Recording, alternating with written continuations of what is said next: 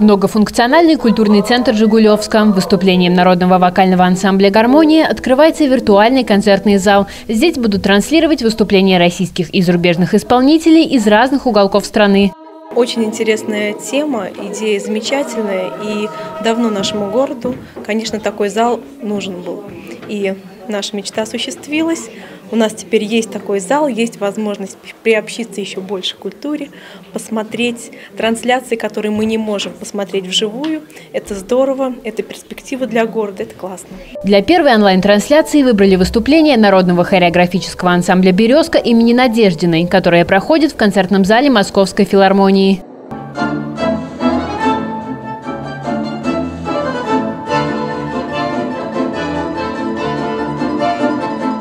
Открытие виртуального аналога концертных площадок стало возможным благодаря нацпроекту «Культура». Он инициирован президентом страны Владимиром Путиным. На приобретение специального оборудования из областного бюджета выделили почти полмиллиона рублей. Преимущество виртуального зала состоит в том, что перед началом идет встреча с творческими представителями, которые и рассказывают о том, что будет здесь проходить. Это принципиально важно, например, для формирования творческого вкуса у наших детей.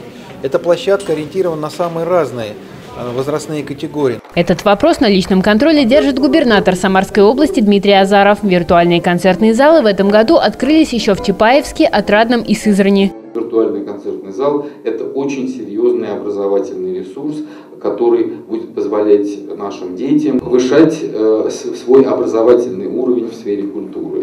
Наши музыкальные школы, я надеюсь, этим ресурсом будут пользоваться, и не только музыкальные школы. До конца 2019-го виртуальный концертный зал появится и в Тольятти, а в следующем году еще один откроется в Новокуйбышевске. Кира Исмаилова, Сергей Богатюк, Новости губернии Жигулевск.